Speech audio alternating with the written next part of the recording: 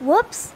I know snow leopards shouldn't be here, but if we don't save snow leopards, the only place snow leopards will exist will be the digital games like this one, online in the internet. So save snow leopards!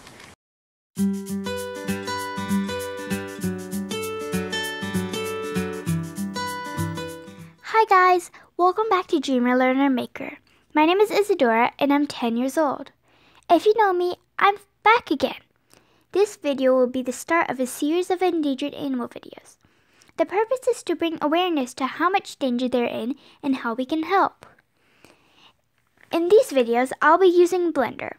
Blender is a 3D software used for animation, visual effects, sculpting, and 3D printing models, and a lot more.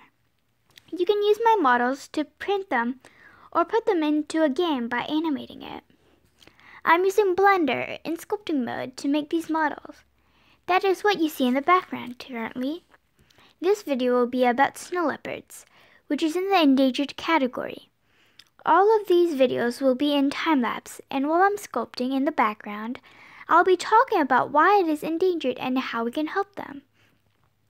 I have four main reasons I want to point out. Enough of the small talk, let's get into the big stuff. The snow leopard is endangered mainly because of humans. Number one, humans push the large groups of livestock into their habit. The livestock end up overgrazing, leaving less and less food for the wild animals like the wild goats and sheep, which is the snow leopard's main source of food. In breeding season, they need this food to tend their young and not just themselves. The prey will need to move constantly to find more food because of the overgrazing in sections. The snow leopards also need to move too because there is where they can find more prey for themselves and their young. And the young might not be able to handle all this moving. Number two. Now for the disgusting parts. The bones, skin, and organs of large cats is an ingredient for traditional Asian medicine. Even though they prefer tigers, they are also endangered and protected, and they're super hard, rare and hard to find in the wild. So snow leopards act as a substitute in these medicines. Number three, the sad part. Bounty hunters and poachers can get up to $10,000 just for a dead snow leopard. Also, some people who live near these large cats often get less than 300 bucks per year. That is so little if you think deeply. These cats live in cold tundras and mountains, and people who live near them get little money. Nowhere like the busy streets of New York or any other famous city or suburban. It isn't hard to understand why these large endangered cats are even endangered at all.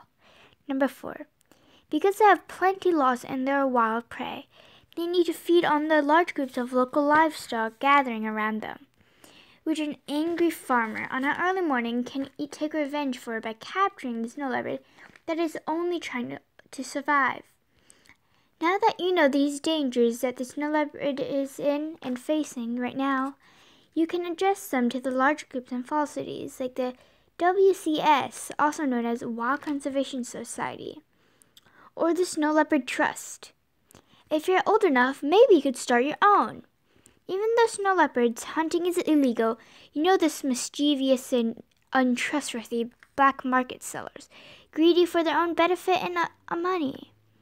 There are only about 3,500 to 7,000 in the wild, an estimated 600 to 700 in zoos around the world.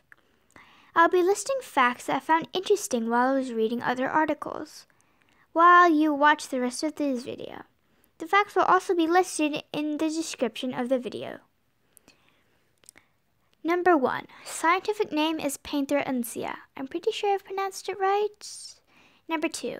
China holds 60% of the snow leopard population. Number 3. They prefer to live in ridges, cliffs, and rocky outcrops where they can blend in and hunt. Number 4. Their belly fur is estimated to be 5 inches thick. They must be toasty and warm. Number 5. Snow leopard tails are almost as long as their own bodies, and one uh, very fluffy too. Number 6. Common prey deer, gazelles, sheep, hares, mice, wild boars, etc. Number 7. After hunting and they're not as hungry, they may drag their kill into a snowy tunnel for safekeeping. Number 8. They are found in altitudes as high as 3,500 meters above sea level. And those are the 8 facts I found. Now sit back and enjoy the rest of the video.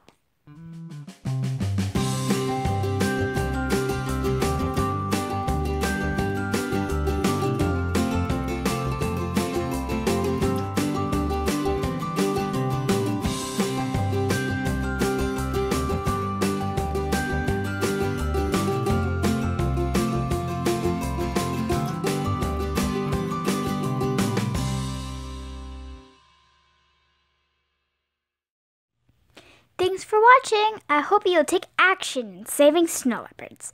Now don't forget to like and subscribe. See you in the next video.